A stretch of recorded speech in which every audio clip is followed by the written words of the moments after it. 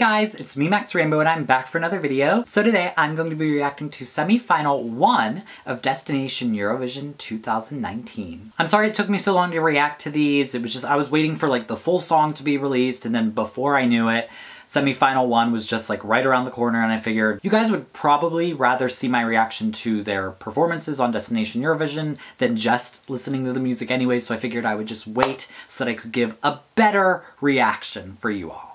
So there are nine competing entries, so I think I should just get right into reacting, don't you guys think? Alright, so I'm just going to go in the order that they performed on the night. So the first song that I'm going to be reacting to is Le Brasier by Naestro.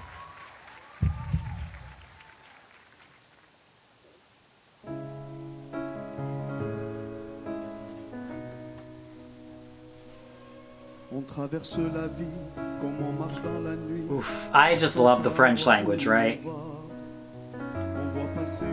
Okay, so right now it's giving me, you know, just it's a piano ballad. He has a nice voice. It's a little... It's good. Okay.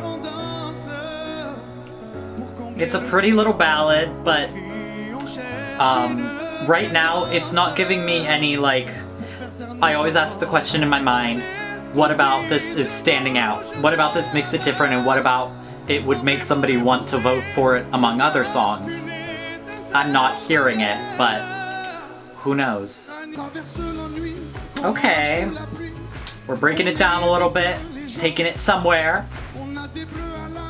I do actually really like his voice. It's a little bit different than a lot of other male vocals. The staging is lovely, I think, on the... I don't know, on the cube thing, the rectangular platform. And then the piano. Here's the thing, France is like known for sending quality stuff. They have an amazing music industry. They always send really quality music, but is this special? That's the question. Okay. I, I do, I really like this. I think that France can do better, but like say this was, if this was in Latvia's national selection, I'd be like, yes! But I hold France to a higher standard. It's like, France can do better. But it's good. Mm. Yeah, I actually, I mean, I enjoyed that. But like I said, I hold France to a higher standard and France can do better and they have done better. France, you don't want to send something like that. like, no. Alright, so the next song that I'm going to be reacting to is called In the Shadow by Florina. Ooh, I like this opening. The spotlight down on her. Kind of like choiry in the background. Ooh, smoke. I love the staging. Oh, she is like queen. She's just beautiful. Like, come on. I love the outfit. She's like strong. I'm standing here. Yes, I'm here. Oh. She has a beautiful voice.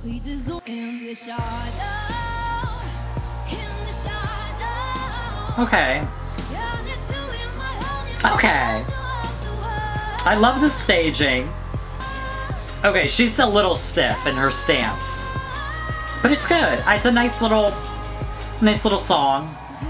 Is it competitive enough for Eurovision? Like, again, it's it's good. It's more of a genre that I would listen into. Like, I can imagine me, like, definitely, like, putting this in a Spotify playlist and, you know, listening to it a lot. But in terms of a live performance, in terms of a competition setting, it's it's very much like other music that exists out there. But it's pretty, I love it. I mean, again, France sends quality. This isn't bad. Yeah, I think the chorus, like, leaves something to des be desired. I love the build-up of the verses and we go somewhere and then it's just like, in the shadow. What is in her hands? Oh, I love the confetti on her face. Girl, if you don't get that off your face. Yeah, I mean, that was perfectly, perfectly good. It wasn't bad. I thought, I mean, I think it was lovely. I think it was good. It just wasn't necessarily like, oh, like, take my breath away. Oh my god, like, wig snatched. It was not at, you know, it wasn't that. Alright, so the next song is Le Routes by Chimène Badi. French is one of those languages. I do have a difficult time pronouncing it because it seems like the way that I think it should be pronounced is not the way it is. So, we shall see.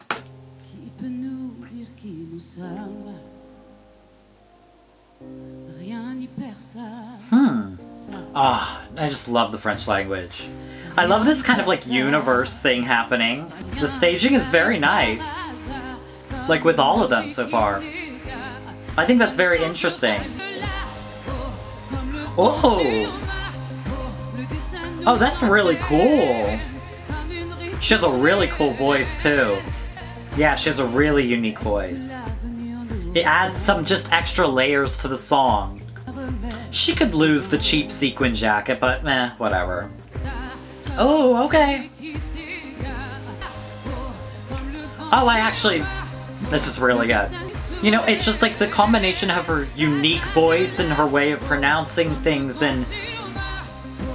And I don't know, the song is just nice. I mean, I think it's a little bit... I'm waiting for it to really build and have that, like, peak, you know? It's very consistent, but it's like, okay, we're going there. She's got some attitude in her performance and her voice. But see, I just need something extra in her voice, in the uh, beats in the background, because it just goes right back to how the chorus has been the whole time. You know what I mean? I need that last just impact. But I like it. I think this is very good. You know what I mean? Like, it just feels like, at this point, it, like, it felt like it should have ended one chorus ago. Alright, so the next song that I'm going to be reacting to is Passiò by Battista Acquaviva. Ooh. Oh! There's some drama? I love the stairs. Oh, I love what she's wearing. It's like very like better than what I have on, obviously, but... Oh! Ooh. The mystery. Is this like opera? I love the staging. Oh, this is so different. You guys know I'm a big fan of opera.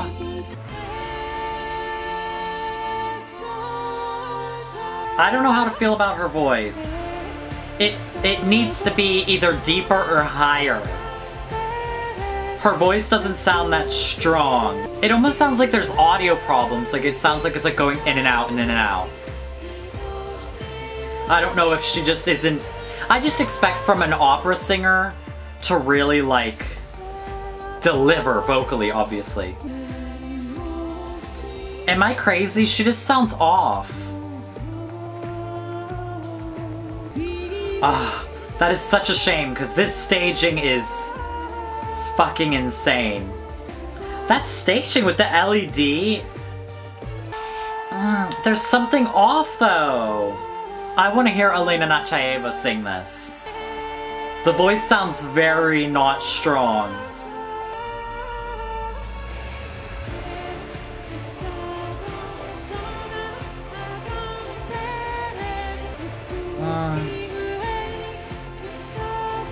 Oh, that's such a shame, because this really has everything. The freaking snow, the moon in the background. I mean, that staging is insanely awesome.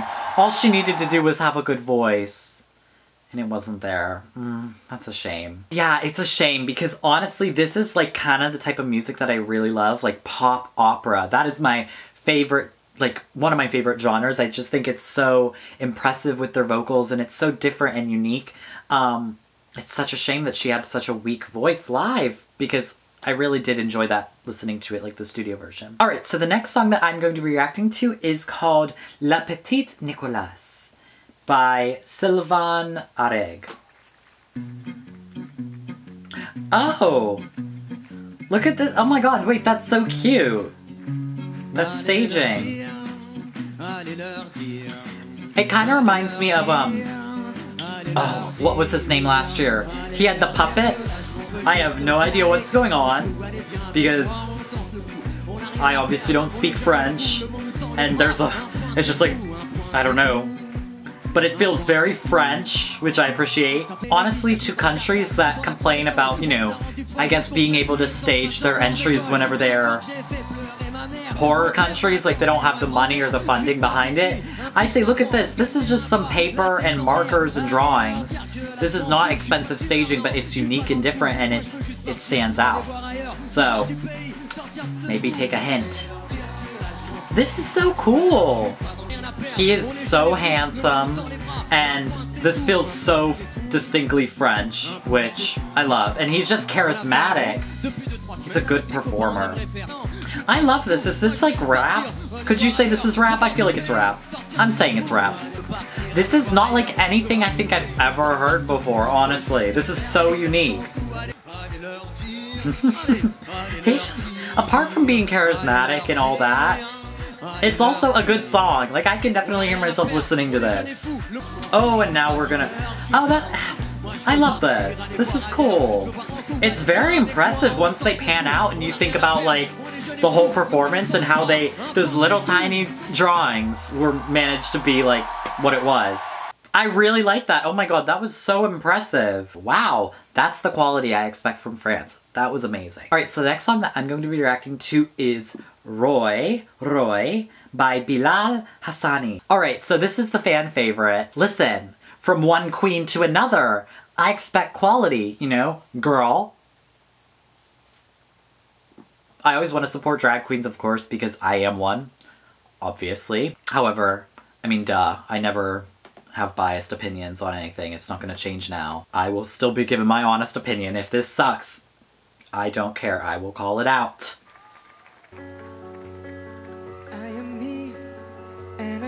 Is she in the audience? Ooh, that outfit. You know, kind of gives, uh, Oh look, I did a couple, like, videos ago. I love the pants.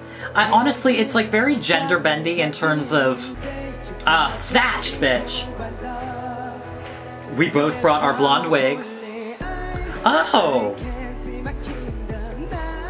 I think this is the first English I've heard, so I can actually understand what they're saying a little bit. I love the choreography with the dancers. Oh, I like the lyrics. It's very inspirational. Oh, yeah, bitch! See, this is the attitude, this is the performance that I expect from a queen! Yeah! oh! I see why she's a fan favorite. Their voice is amazing. I don't know. I don't know why. It's always a concern of mine with drag queens' voices because I swear none of us know how to sing. So... The staging is, like, beautiful. I love the integration of French and English. I think it works. I can def- Oh, yes! The choreography! I just live for this! And you know what? This is classy still. You know, I think that people expect from drag queens to send something cheap or send something not to be taken seriously. This is classy quality.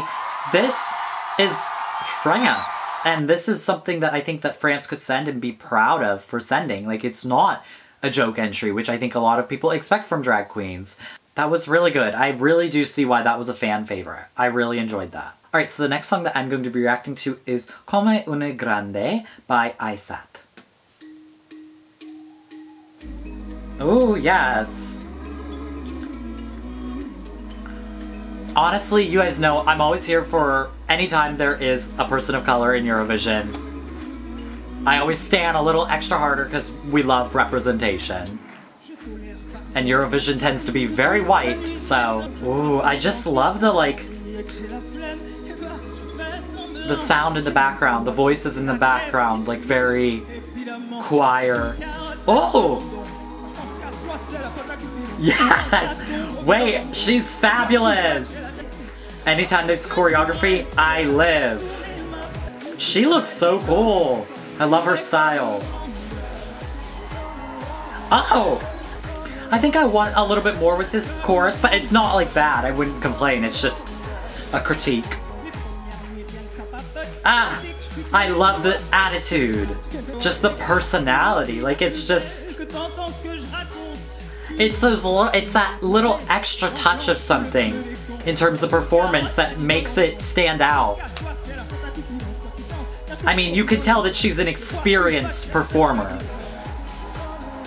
Ooh, Francis and this is just the first semifinal, girl. We got some winners already.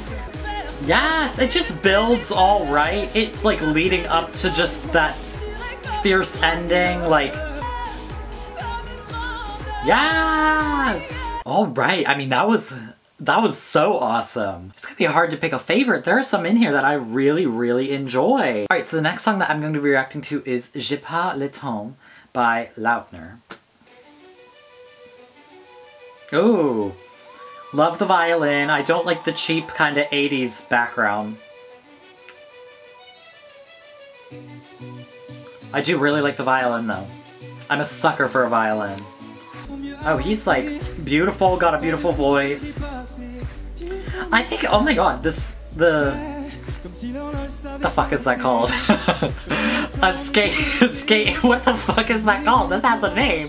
The skate park thingy in the background. I think that's a really unique staging. Oh, okay, this is a bop. I mean, you can never go wrong with two handsome guys and a bop.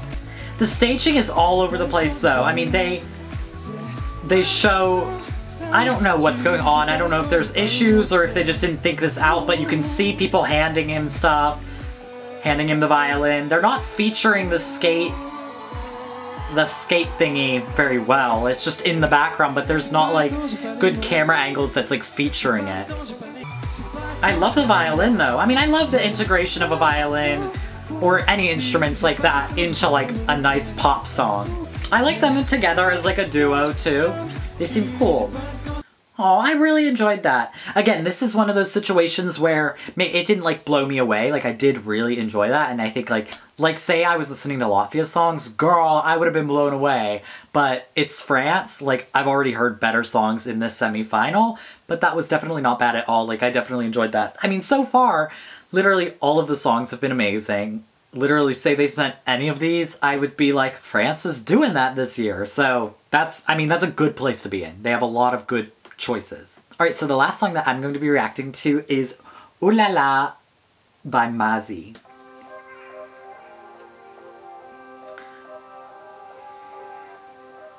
Oh, these instruments sound very like French. Oh!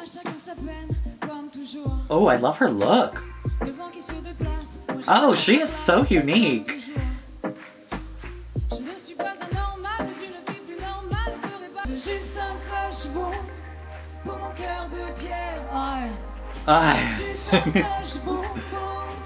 oh!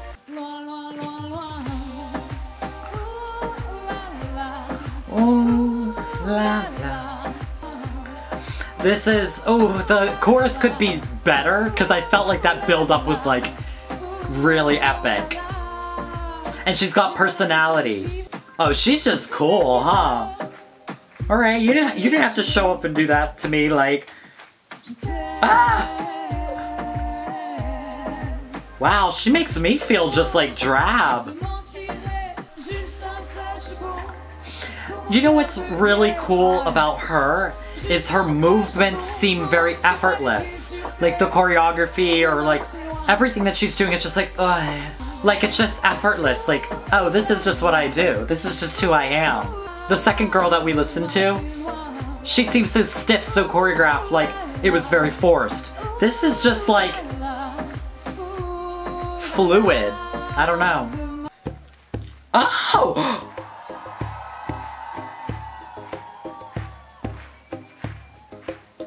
Guys, I, I love this. Oh my god.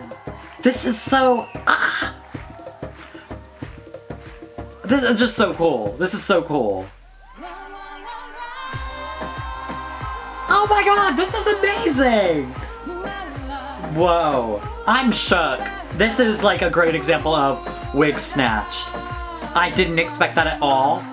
That was just impressive. Like, it was unique. It was different. It was everything about it. I, wow.